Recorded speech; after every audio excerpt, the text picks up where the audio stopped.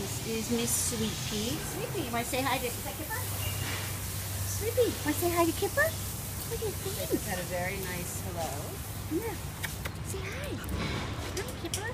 Sweet Pea, do you, you don't want to say? You'd rather snuggle and hug and kiss me than meet another dog and cuddle and kiss? Okay, we can do that. So this is Sweet Pea. She's at Manhattan Animal Care and Control. We're feeding her three times a day because she's emaciated and obviously has had a couple of litters. We just walked to the park. Um, she likes to chase the squirrels and the birds, but seems relatively uninterested in, in dogs. Come here.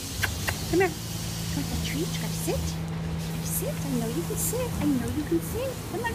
Sit. That's how to sit. Oh, good girl. She takes him very gently, even though she's so emaciated. Look at her cute face. Her tail hasn't stopped wagging. Like beyond, beyond adorable. That was like, it just doesn't get any more gentle than that. Come here. Come. Hi. Would you cuddle with me? Would you cuddle cuddle with me, Sweet Yeah, such a good girl. So this is Sweet Pea. I don't know if she wants to chase the ball. Do you want chase the ball? No, you'd rather come cuddle with me? So this is Sweet Pea Manhattan Animal Care and Control. Very sweet. Shy. Some people wanted to meet her on the street. She wasn't so sure she wanted to make friends. Yeah, she's so sweet. Oh.